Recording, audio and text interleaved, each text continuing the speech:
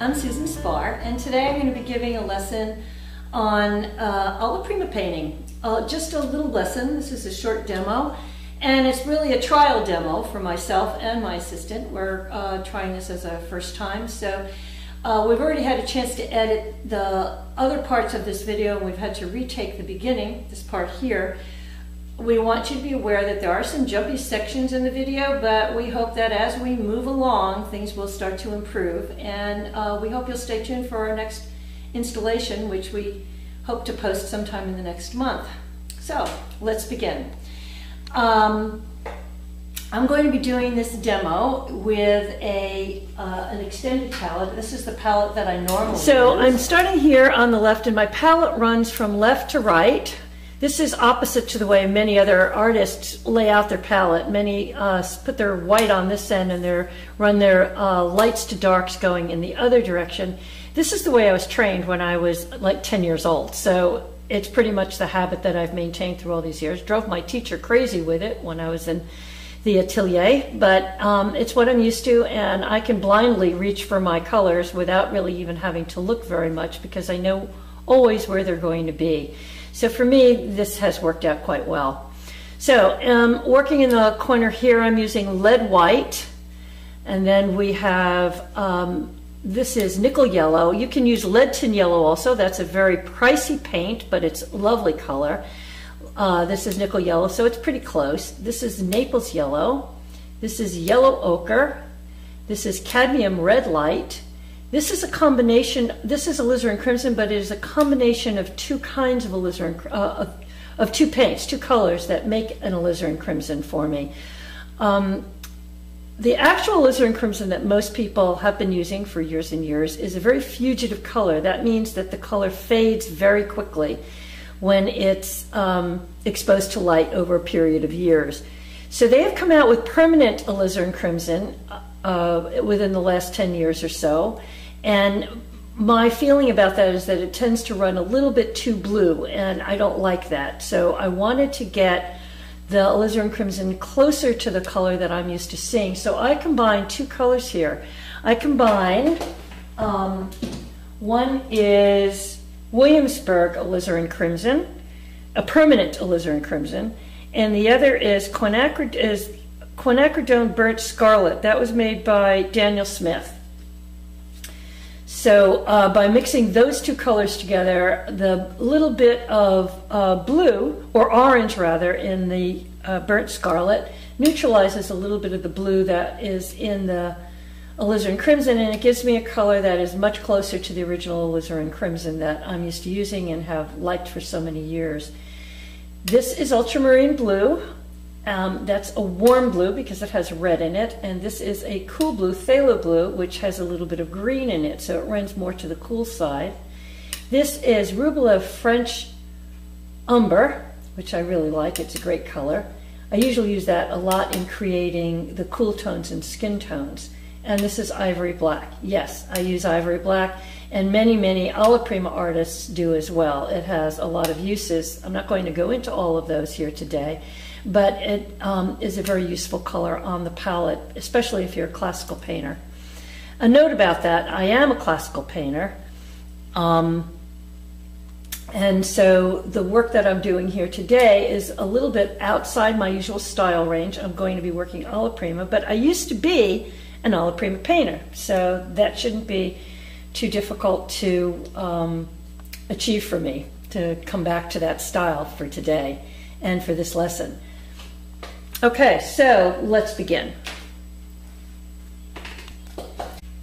This is the setup that I'm using. It is just two apples and a slice, something very simple. It's a very simple um, setup.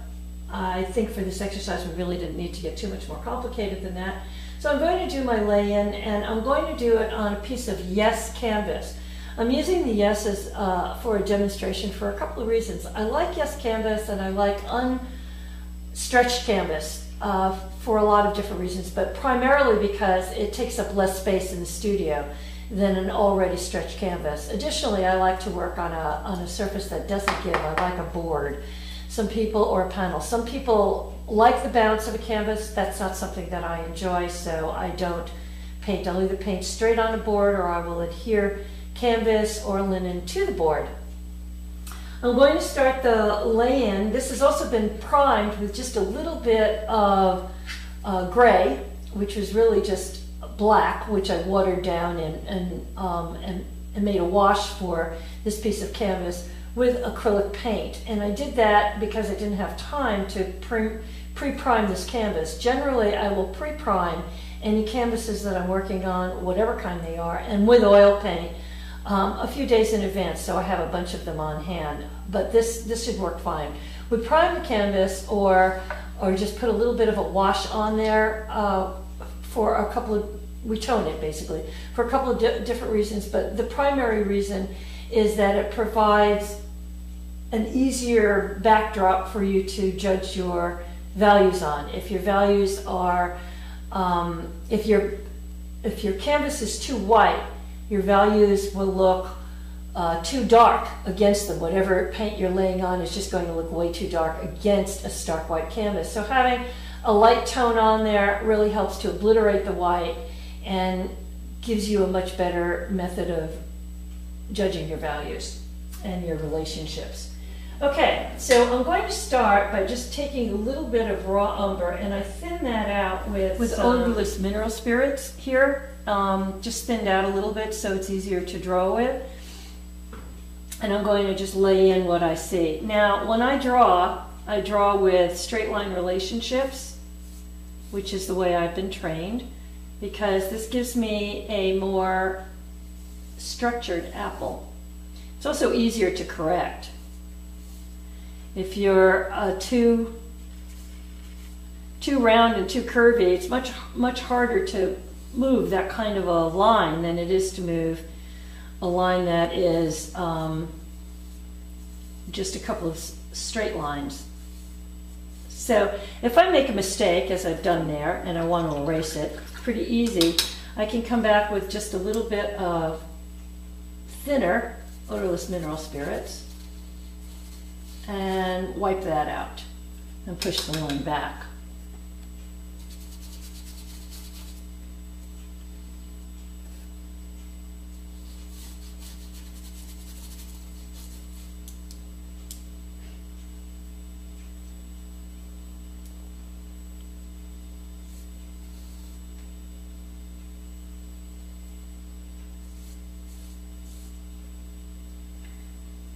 Okay, there's apple number one. Let's work on apple number two. So that's this, I think.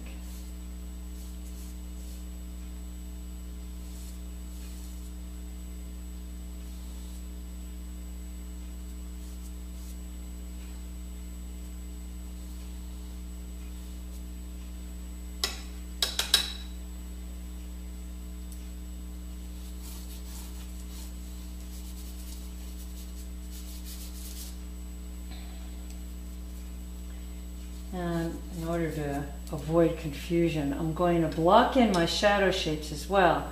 Now the light on my apples is a kind of diffused light. Maybe a little bit more there. I'm going to Add some in. Because I'm using a north light window and I'm using a diffused cool light bulb to augment that light. So it stays fairly steady during the day because here in Washington, the clouds go in and out, and that makes for light fading and um, and uh, getting stronger throughout the afternoon, even on a nor- even in a north light window. So this light helps to solve that issue.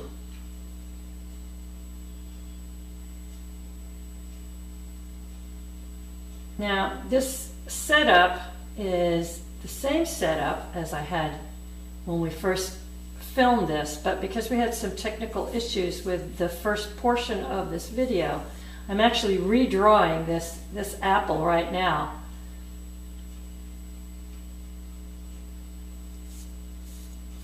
So that you can see how I do it.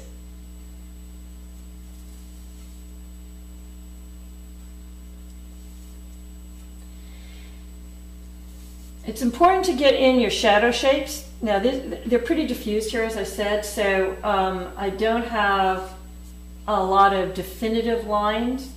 To uh, Not put a lot in. of Like, there's- um, definition between the core shadow and the lit side of the apple, also known as the, I think I mentioned that it's also called the terminator line, depends on um, who you've been studying with, but uh, that's what this line would normally be called. It's not very sharp though.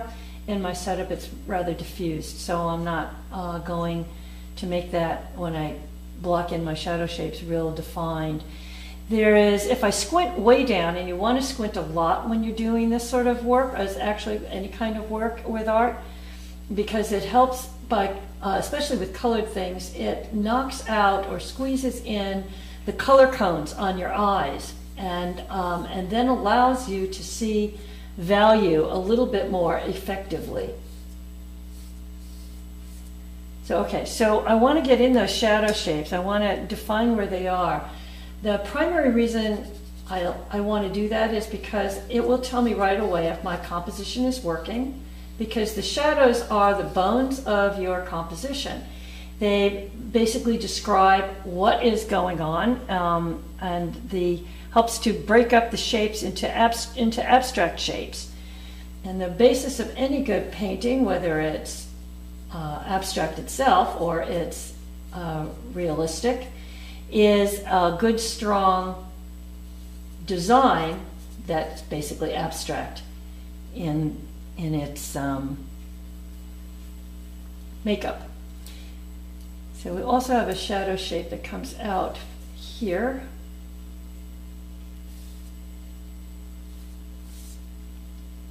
So I'm just basically washing those in a little bit. I'm not worried too much at this point about the differentiation of value in those shapes.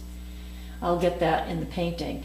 I need to get in the horizon line too. This, I want to fix this shape a little bit for this apple.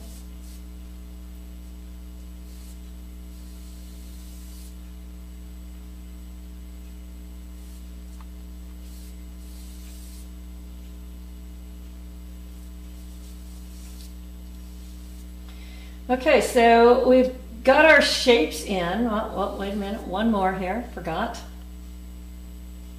I think I'm to move this back a little bit.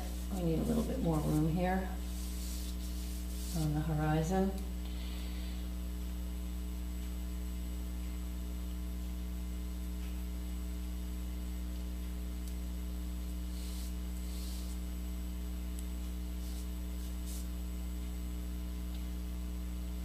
So I was talking about laying in my drawings with straight line relationships. There's a couple of, uh, there's another reason why we do that. It adds more structure to whatever it is you're drawing or painting. It allows you to um, move lines more easily, but it keeps you from getting a kind of a Gumby look to your work. It feels, um, it feels it's more structured, like it has bones bones to it. It's very important in life drawing, but it's also important in anything you do, um, including still life. Once I learned how to how to do that in my painting uh, and in my drawing, it it just accelerated and raised what I do to a whole new level. I'm going to pull some of that out because it gets lighter back there. And this is kind of diffused in here where the shadow shape is. Lighter back there too.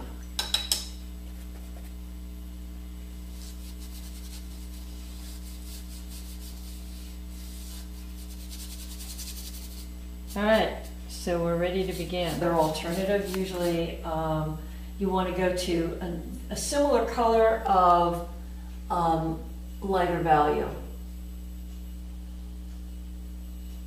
So I'm going to even go a little lighter here with some Naples yellow, which is pretty close to. See if we can get that. Still my shadow color. My shadows are not, there we go. My shadow colors are not uh, that um, dark because we have, there's a lot of extra light being cast on this from my, um, from my light above. Okay, so now um, I'm just going to lay in using as, I try to use no more than three strokes to every, every time I hit the canvas. The fewer strokes you use, um, the more conservative you are in this, in this way, the better it is. Again, I'm going to, I'm creating a track now because I can see that there's areas on the apple that get a little lighter as I move up. So I'm mixing and creating a lighter track. Can you focus on that for a minute? Ann? Do you have it? Good, girl. Okay. So you can see this was my darker shadow color. Now I'm moving up a little bit more in the shadow work that's a little lighter. And I've added some Naples yellow and pulled down some more color.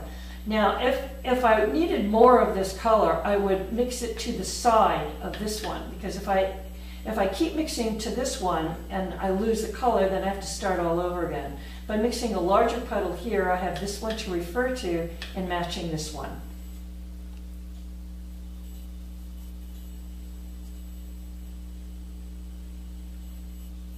Again, I'm going to add a little bit more because I want to get a little bit lighter up here.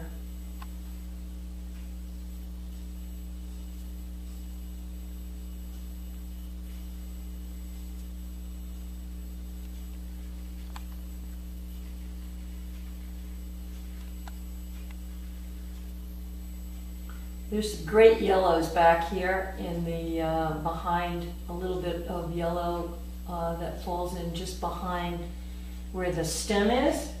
So I'm painting that in, and then I'm going to work back up into it with the rest of my apple color.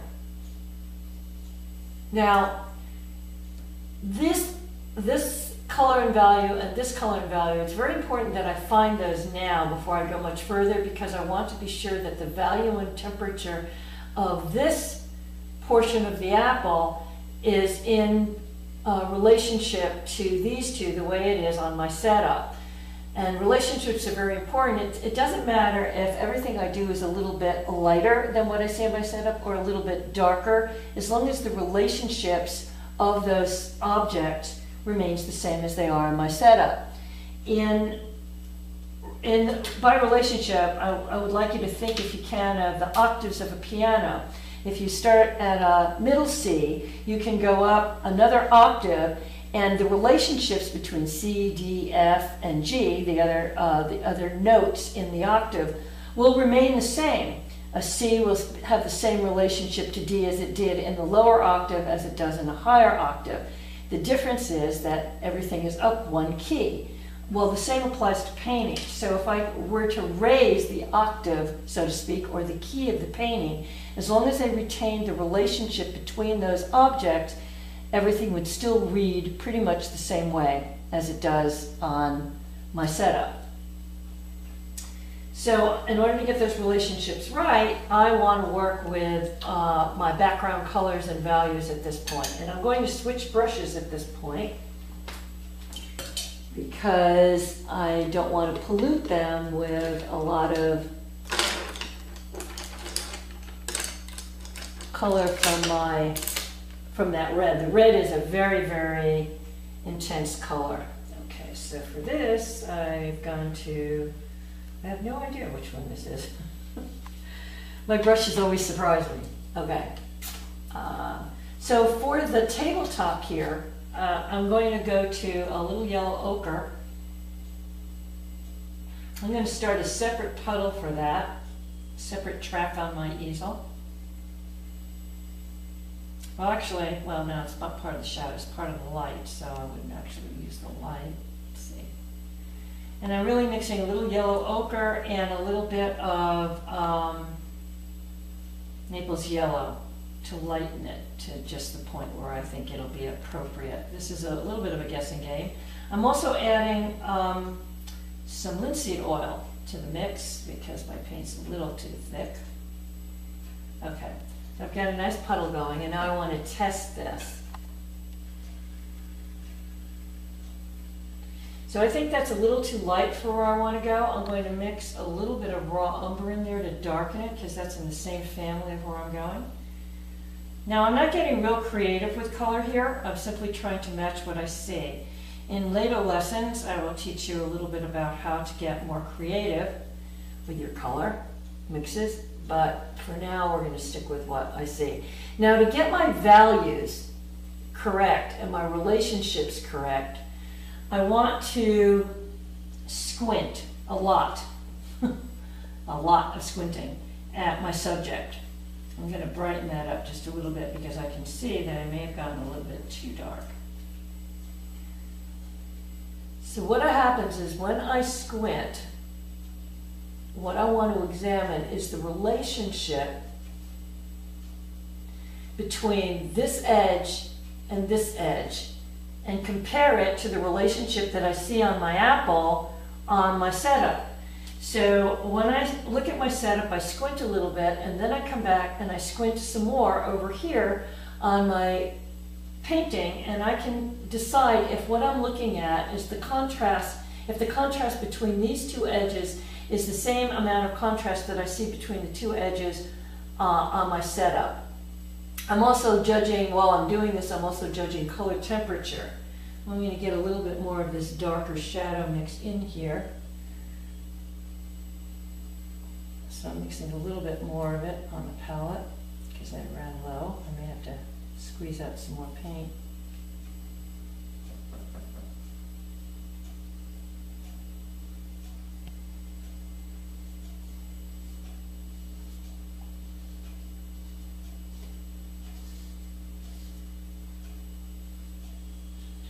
Now,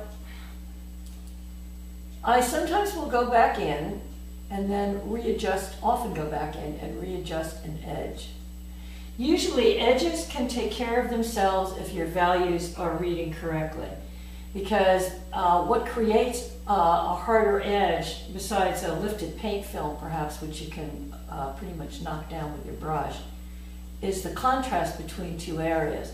So if your uh, contrast is really high, you're going to have a sharper edge. If your contrast is a little lower, you're going to have a softer edge. So if you're getting your values and your colors right in that, in that, and your temperatures right in in those areas, you'll have less of a, an issue with uh, with edges. But I wanted to soften this edge just a little bit more, and I'm going to go in and manipulate that shadow. There we go. Now I want to work up into my background. So for that, I'm also going to need another brush because that is going into the blue range. And I don't want to mix up my yellows too much. There we go, there's a good one. Okay, so for that, I'm going to mix a gray, and I'm going to start with a little bit of blue. So I'm using here um, my ultramarine blue. And I'm going to mix with that a little bit of orange now um, to neutralize it. So let's see, I don't have any burnt sienna on my palette, so I'm going to mix a little bit. I'm going to mix some red and a little raw umber.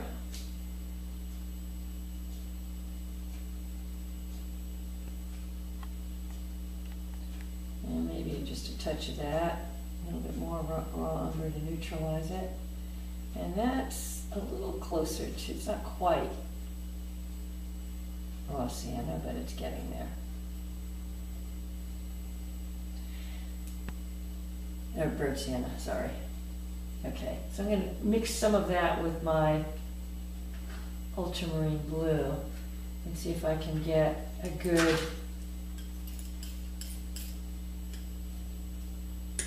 gray. Now, at first it's going to look pretty black, as you can see. See how that translates to a pretty black color? Nice part about this kind of um, a black or gray is that I can warm it or cool it um, either by adding more of the burnt sienna or more of the blue to the mixture. Um, and I can swing it either way, which makes it a really nice a nice color to uh, paint with.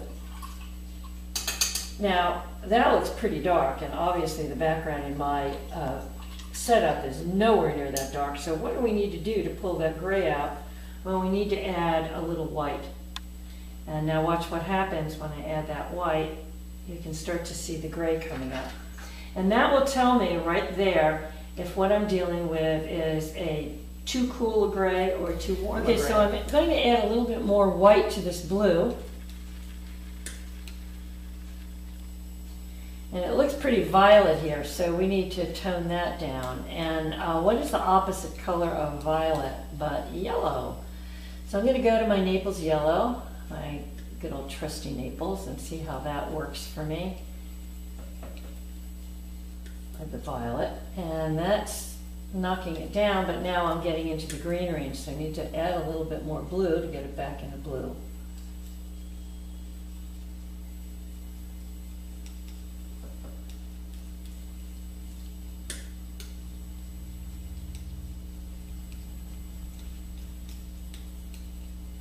Notice that my glass palette has a little bit of, uh, and I'm adding ultramarine blue here by the way, which is pretty much a neutral blue. It's, it's um, a warm blue because it has red in it, but it, um,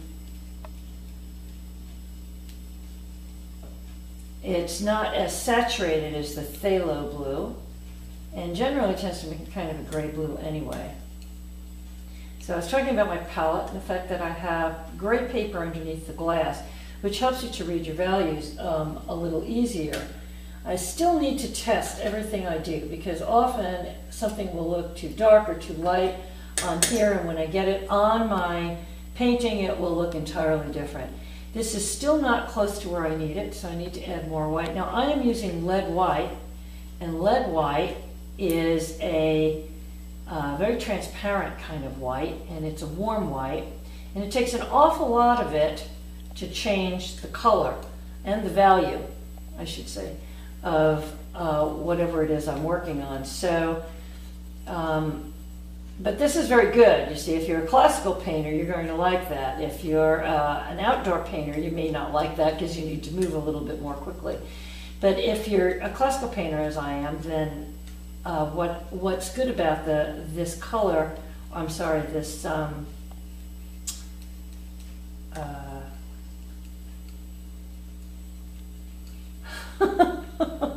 we have to edit that portion out. oh gosh.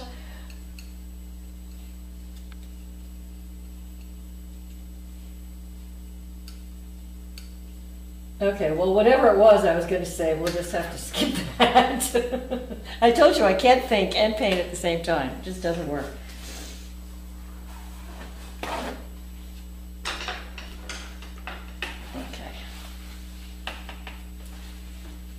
So let's just see how this gray translates once I get it on my canvas here.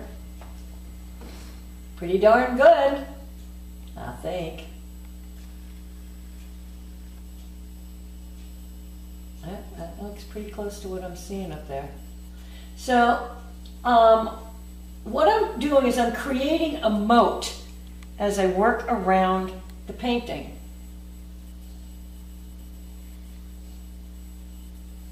A mode of color that will help me to relate to these relationships or, or find these relationships in here. Now I'm going to switch back to my red because I'm painting the apple.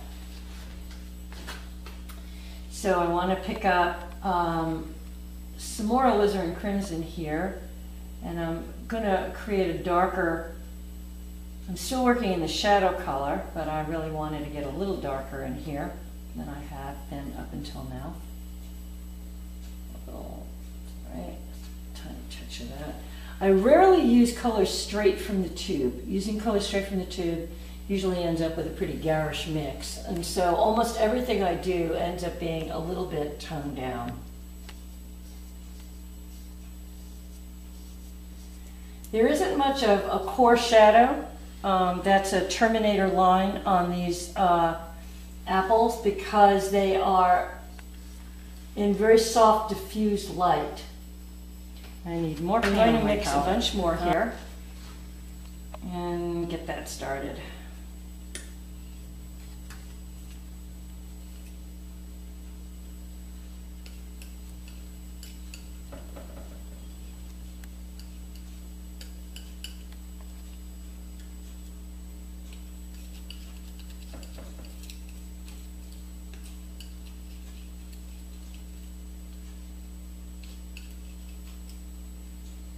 I need a little bit more yellow ochre.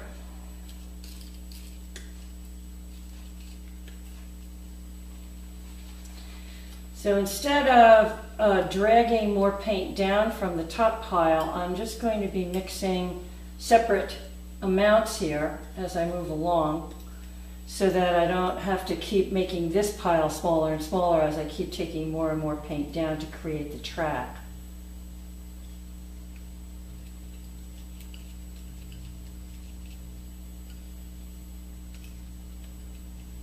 I try not to use more than three colors in a mix because uh, you'll end up making uh, a lot of mud that way. Sometimes it'll work out for you, but um, a lot of times you just end up with a real mess. So I'm trying to be careful here.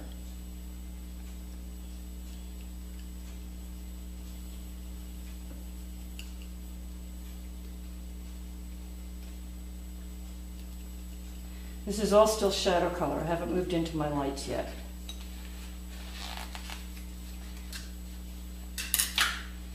And a little uh, palette adjustment here.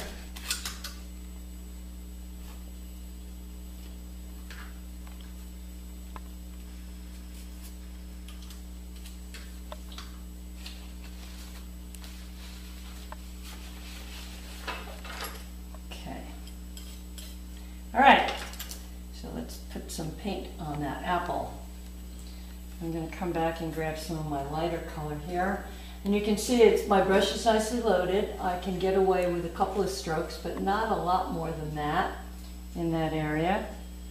I'm going to mix it another little lighter stretch here on the canvas, on the palette as we move over this way, because now I'm going to start moving into the light. As I move into this side, I'm going to need more, I'm going to also need to develop this edge of this apple because this edge butts up against this edge, which butts up also against the background. So uh, in order to get all those relationships right, I need to get this, I need to get part of this apple in. So I'm going to go back to that darker shadow color that I, that I mixed up here because that is actually it's pretty dark right around this edge here where it meets the gray background of the setup.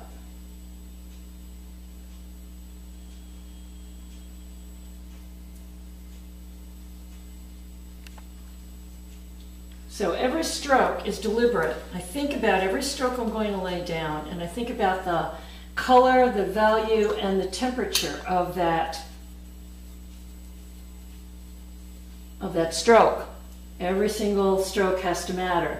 We don't do any licking of the canvas here, no mindless stroking on the canvas. All right, now we're moving, we're getting a little brighter and a little lighter here. I don't have any bright cadmium yellow on here, which is one of my favorite colors, but I didn't think I needed it for this. Normally I would put over, over here uh, I'm sorry, over here, um, a bright cadmium yellow light, which does a really nice job of um, uh, making oranges, and, um, and it's wonderful in the light. But these were more Naples yellow colors, and so I didn't add it to my palette today. So I didn't think I was going to need it. Usually I will put it on whether I think I need it or not but this laid plans. Okay.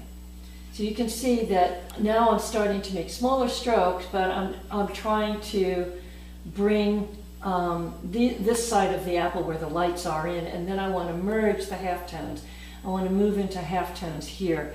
So um, I'm going to continue my shadow track down, but I'm going to start lightening it up as I do, because obviously as you move into the halftones, the apple gets a little lighter. It has more yellow and other colors mixed into it at that point too.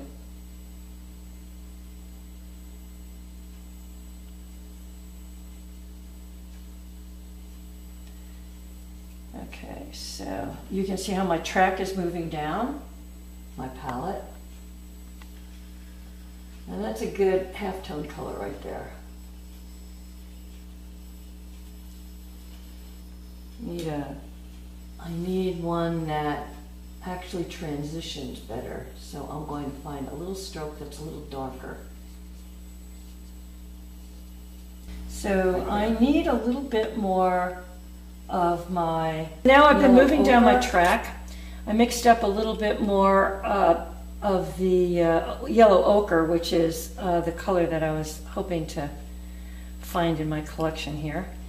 And I'm going to get into this sort of corally red color that you uh, find in the lighter lights of the apple as you move around. Now, this is pretty light, but could get even a little bit lighter. So I'm going to grab a little Naples yellow.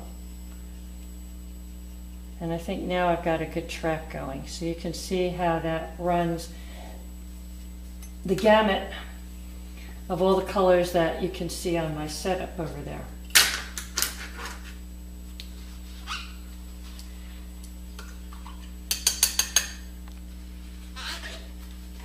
Okay. All right, so moving back into the halftone area, I'm going to continue on painting the half tones on this apple over here.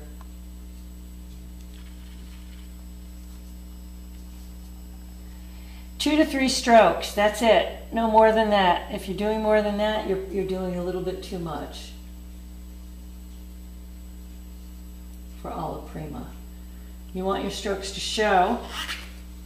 Now between here and here, that, that's a little bit too much of a jump. So I want to find um, an intermediate or transitional value. And I'm going to just make one stroke there that transitions those values a little bit um, easier. I need to switch to a bigger brush. I like what Sargent said, which is paint with a broom. You get much better results when you use a larger brush than when you use a brush that's too small. So, moving around, I'm going to go to this little guy. This is a Pro Stroke. Um, you can tell I've got a lot of these. This is a Creative Mark Pro Stroke uh, brush. It's a number six, but again, like I said, manufacturers' uh, sizes don't tell you very much. Okay, I'm moving, as you can see, can you uh, zoom in on the apple there or show people what the apple looks like, Anna, please? Thank you. Um, you can see how the values get lighter as they move towards the light source. There's even a little bit of a highlight over here. That's what I'm doing here on my painting. I'm slowly moving over to match those values and temperatures. So I picked up a nice little dab of paint here and I'm going to start moving out of my halftones into the lights.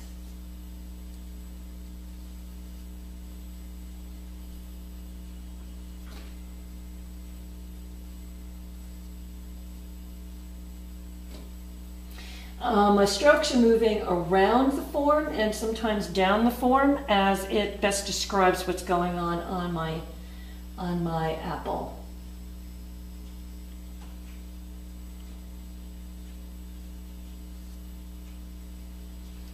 And now I'm going to just grab a little bit more of this nickel yellow, which is a little green, great color. And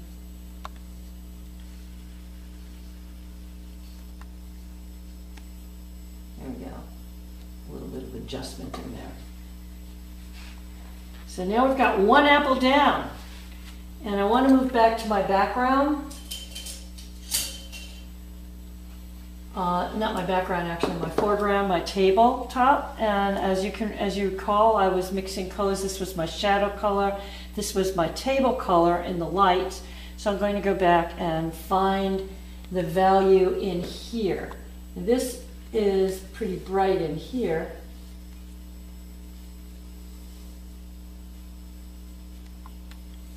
And I have some more shadow color over there.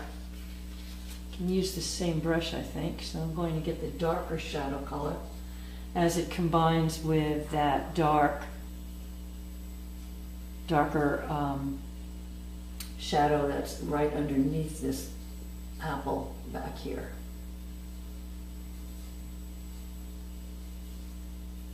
There we go. Even used a big brush for that.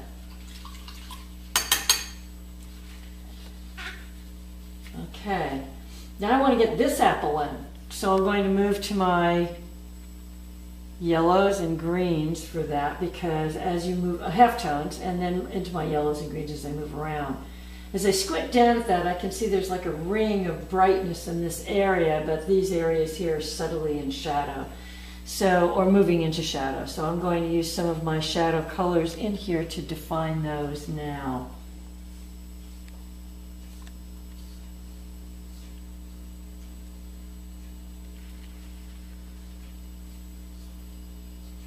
I'm trying not to make any noise when I do this, but this particular kind of yes canvas is very sort of grainy, so even when I move my fingers lightly across it, you can hear it, so it's pretty hard to totally eliminate any stroke noise. But I use that as a guideline uh, because I remember David Leffel mentioned that in a class that if he can hear his paint on his brush, and um, that's a very important thing in painting alla prima. If you don't have enough paint on your brush, you're just not going to be able to get those nice juicy paint strokes that you want. Okay, I'm going to use some of this darker actual table color in here, which is pretty close to what I see going on here.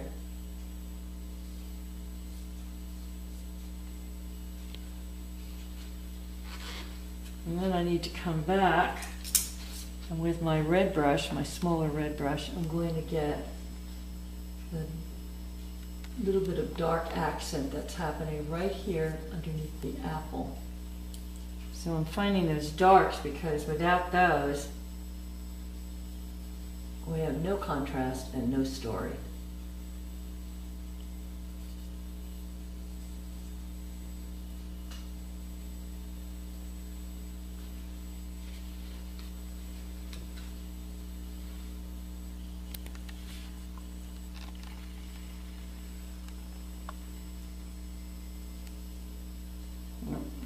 Paint.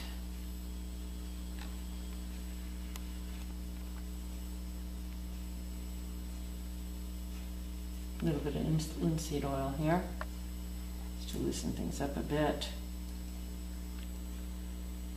Uh, let's try a little bit of red mixed in with that.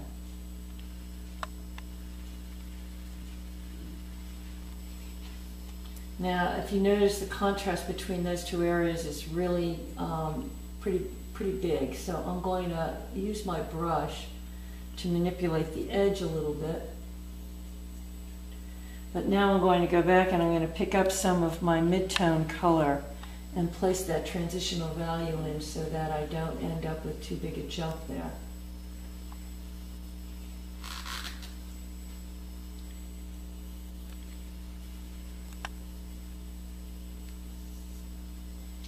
This yellow is looking a little too peachy, so I want to get more into the green side. I'm going to grab a little bit of my black and I'm going to create another color green. Now hopefully this will work with lead tin yellow or nickel yellow, let's say.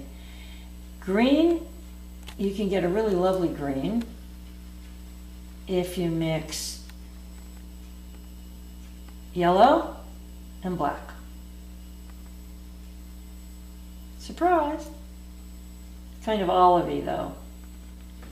And so I think what I'm going to need here is some cadmium yellow light, which I don't have on my palette. And I didn't think I would need, but I'm going to add it anyway. So that would go, that would go right here terms of value.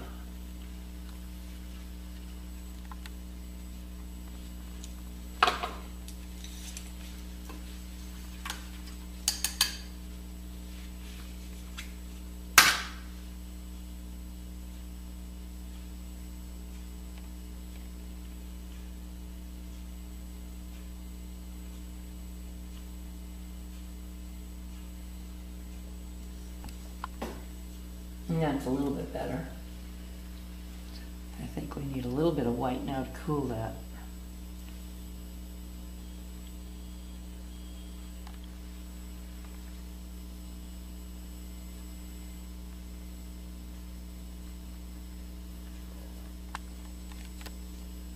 That's still a little too yellow, a little too warm. I would like to cool that even more.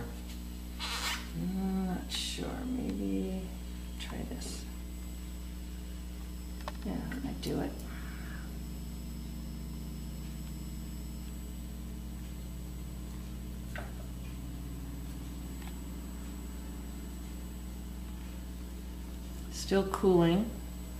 I'm using a little bit of uh, the nickel yellow and a little bit of white added to my cad yellow light. And that looks like it's getting in the ballpark. Okay. Still a little hard to tell because um, I'm isolated up there and haven't put anything in around it. So I'm going to stop there at that point and then start moving back in from my half tones over. I was looking for a particular tone of green that I think I mixed over here.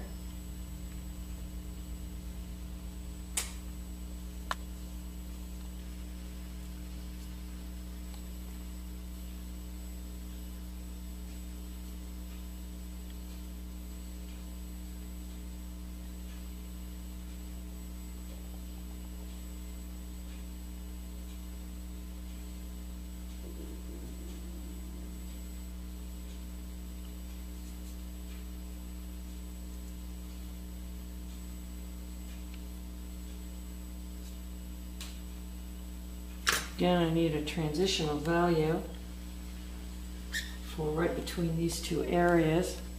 So I'm going to come back and grab my um, halftone.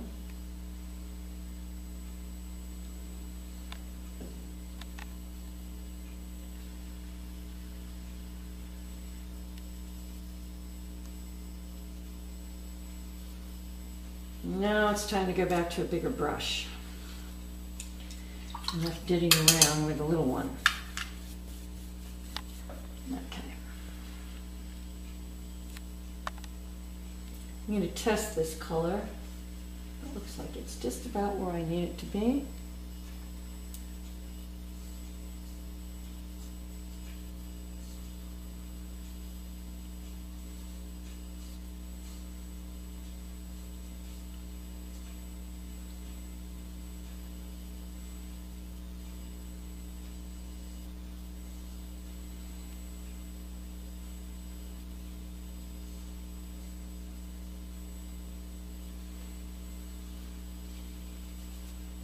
Now, on the apple itself, in this back area behind the stem, you can see it gets a little bit warmer.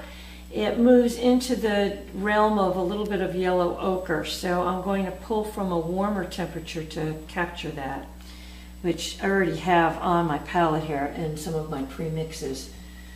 So I'm going to see if that works. That's perfect. So we're going to put that in.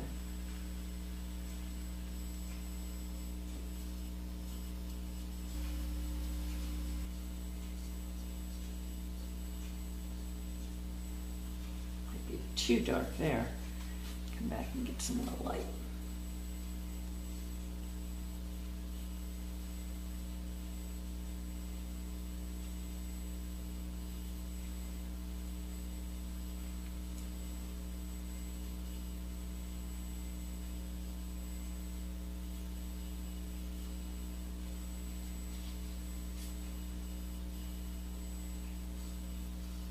Okay, so now over here, in order to show off that little background area or have it stand out as um, the stem area of the apple, I need to get my lights in right here.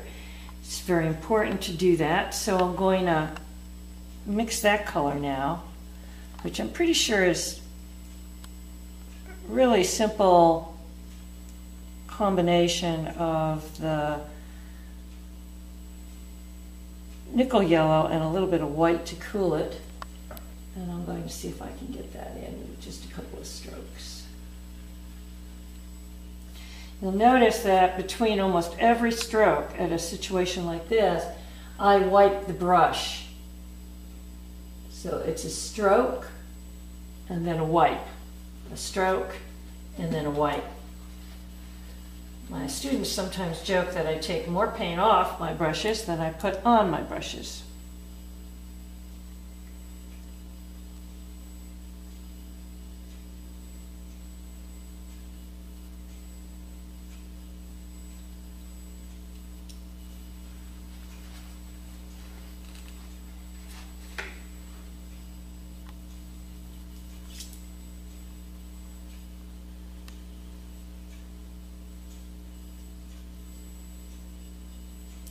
Okay, that needs now is a stem, which I'm going to put in.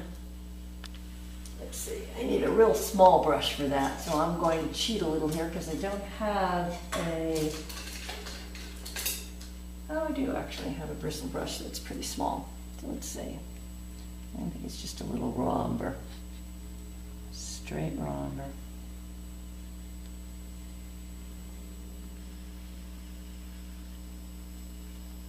There's a little one in there too, right there.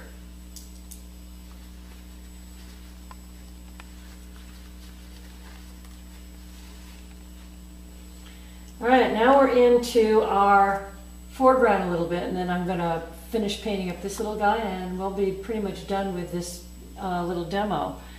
So I need more uh, paint down here, obviously, for the foreground. I'm going to go to my uh, Naples yellow because it tends to be a pretty light color down here. And I think it needs to be cooled with some white, so I'm going to cool that down really good. I was saying that one of the reasons we use lead white is because it makes very slow transitions of color, which is really good if you're a classical painter and you're really trying to get those subtle transitional uh, turns that happen with um, what, well, in classical work we call it turning the form, where you make an object look very three-dimensional.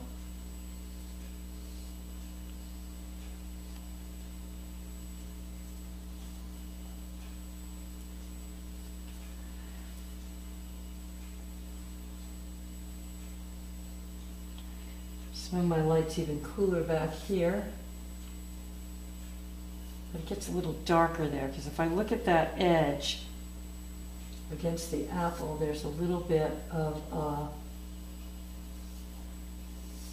transition. I can see just enough value change there that there's a contrast, very light contrast, but a contrast nonetheless.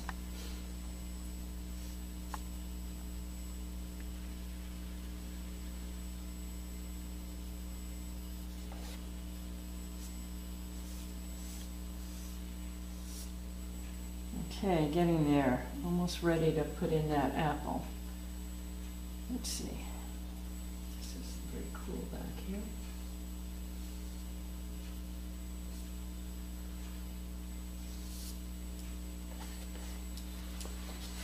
I also want to get in the shadow color behind the apple, and I think I'll do that right now.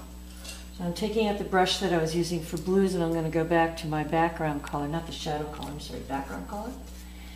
And I'm going to just put some of that in right around the apple. Now, the background color changes in, in a setup depending on what your source of light is and uh, how the light is moving across the subject. In my case, it's not getting, I'm not getting a lot of value or temperature change because the light's been pretty steady. That's the one advantage of north light.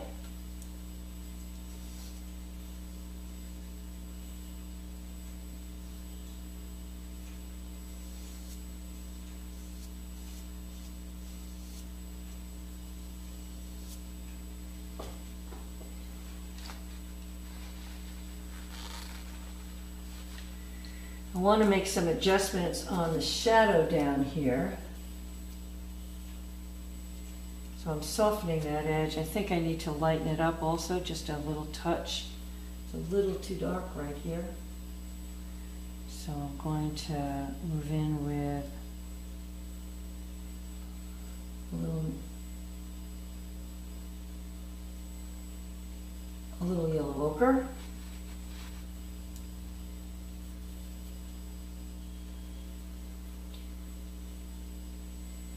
You'll notice when you look at objects that um, as the shadow falls away, as a cast shadow falls away from the subject, it gets a little lighter. More and more light is cast into it as it does that. I'm going to reinforce that shadow a little bit down there. Soften that edge. Okay, so it's pretty good for now. There are some temperature variations in here where some of those strokes get a little lighter. That's the kind of thing you can add later or you can uh, mix as you go. I tend to find that it's easier um, to come back in a little bit later and add some of those uh, variations in, in stroke afterwards. Those adjustments are good now, so now I can move on to this. So we need our shadow color. I'm coming back to one of my brushes that I've been using for that. And I'm going to, I think I need to mix a little bit more here. And that was basically a raw umber mixed with the yellow ochre to get that shadow color.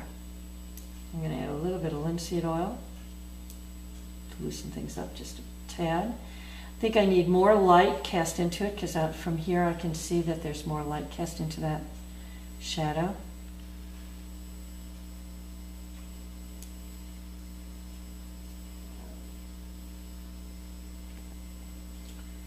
So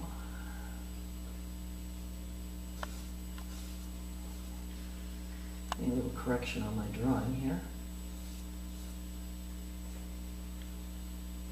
Typically, shadows should be painted thin. And your light thick. Let me check my angle.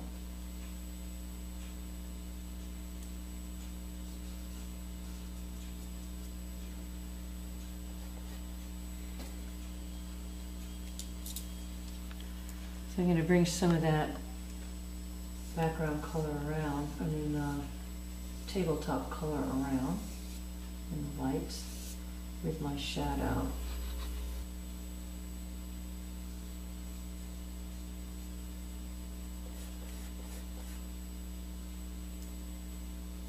Gonna make an adjustment on my shadow shape.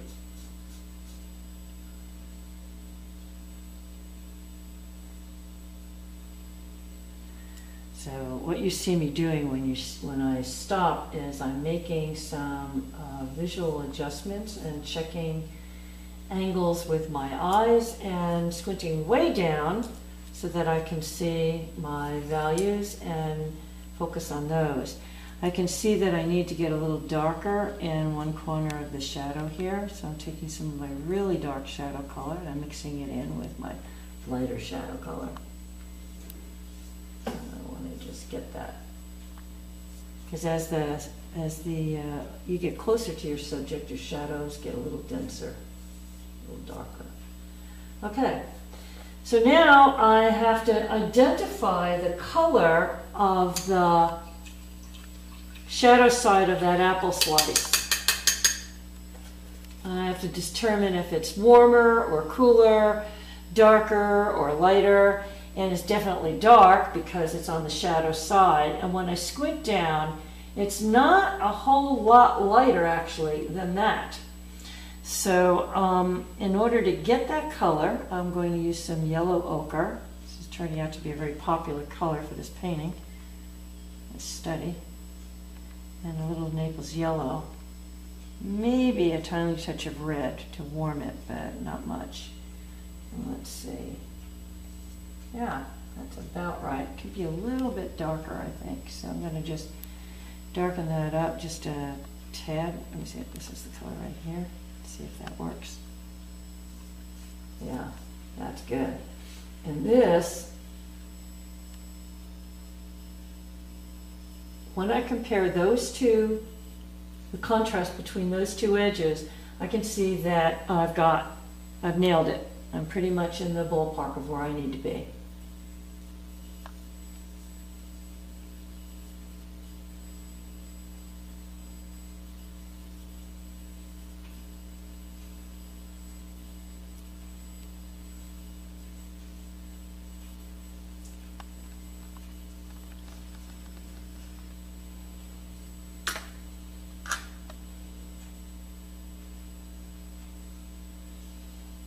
Okay, now we're on to the good part. All I need to do is get this edge in and match it to this edge here, where the, where the, where the end of the, where the edge of the apple is, and we're about done.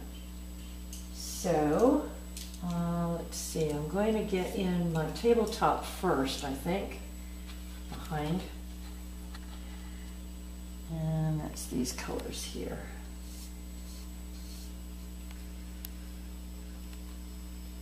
Can hear that brush, not good.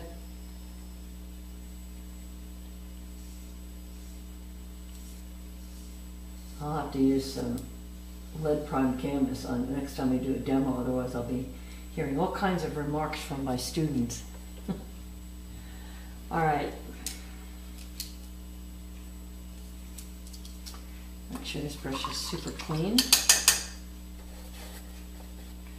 I'm going to pick up some of my red. Now, I need that darker red color because on the outside edge of the apple over here, it's pretty dark. Now, the perspective from which my assistant is shooting is vastly different than the perspective from which I am seeing the apple. So um, it may not look like I'm doing a good job here, but you need to trust me. Maybe we can get an angle from my perspective for you.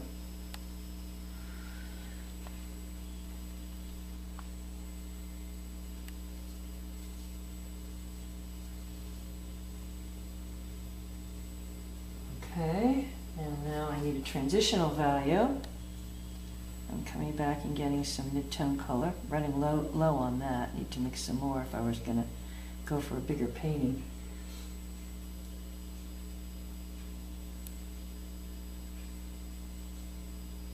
Need to change my shape a little bit here. So you can see when I mix that transitional value, there's you can I didn't blend these two, but you can see that there's almost no I mean, the change between those two values is nice and gradual, which is really what you want to get when you're painting either alla prima or you're painting in um, classical style, which is more of a layered effect. And, uh, and you get that not by pulling two colors together, but by actually creating the third color. And I will give you a demonstration on that before we're done here. Okay, I want to make some adjustments to the shape of my little piece of apple. So I'm going to choose this interior color. Scoop it up a little bit more.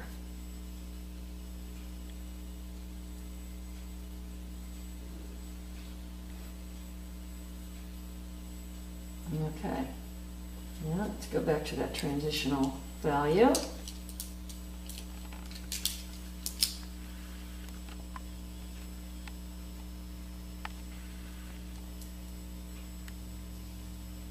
I can start getting much lighter in here.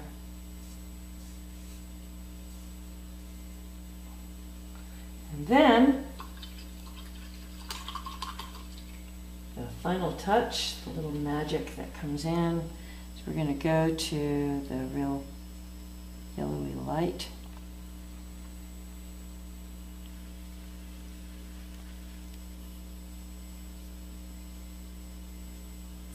When I make this stroke, I can see that I need to get a little darker on my tabletop because there's more contrast where that edge hits the table in my setup than there is here in my painting. So I'm going to come back, make sure my brush is really clean. Now I'm using odorless mineral spirits here to clean these brushes because these are bristle brushes and they can basically handle it. But if these were soft brushes, which I don't use for alla prima anyway, I would be cleaning them with oil because it's better for the brush. Okay, so now just need to, oops, darken that, not lighten it, Susan. That.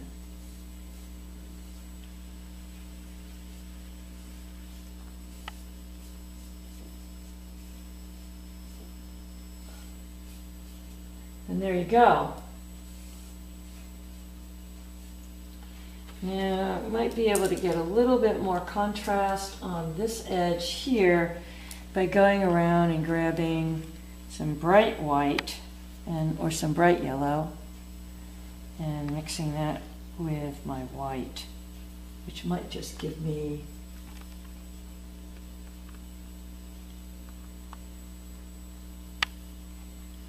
the contrast I want. So there we go.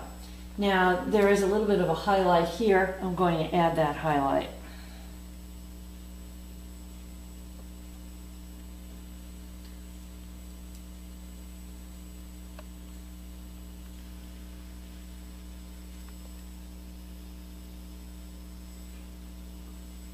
Okay. Little, little things now would be necessary, uh, a little cleanup in some areas, like down here, I could use a little bit more cleanup right where the shadow, sharper edge, right where that shadow hits uh, the edge of the apple, or that light on the table hits the edge of the apple. Um, if you were working on a larger painting uh, with more, more subjects, you would of course be migrating around the whole thing, painting one piece at a time, moving from one to the next. Um, but for our purposes here today, this is all I'm painting. And if you were going to complete this little study and you wanted more of a background and you didn't want to vignette it, as I've sort of done here, you would then just mix more of your shadow, more of your uh, background color and your table color, and then you could extend the painting out to the edges where you wanted it. But for my purposes, this is, um, and for the purposes of this exercise, this is all we really need to do. Now I'm going to show you one more thing.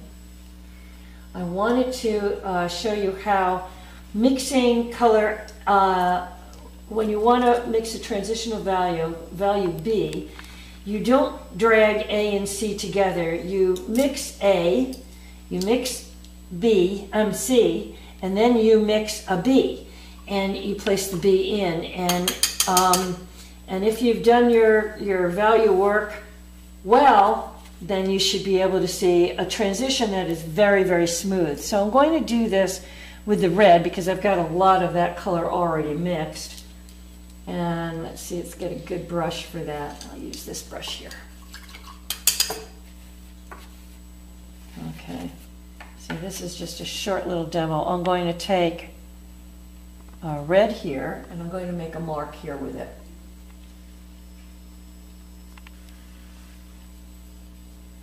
Now that's color A.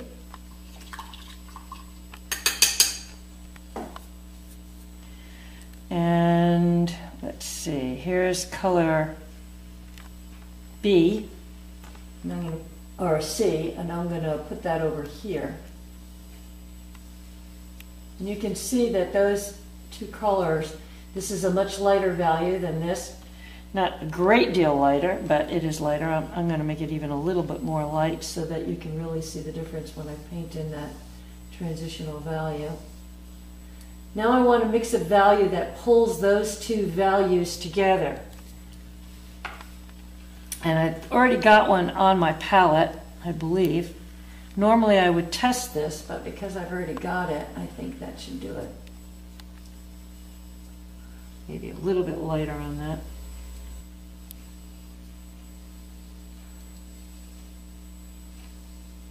So you can see that the transition between these two is very, very fine. It's a very light transition. This one's a little jumpier. So in that case, I would want to add just a little bit more light to this color and make another transitional value. Let's see if this is the right one.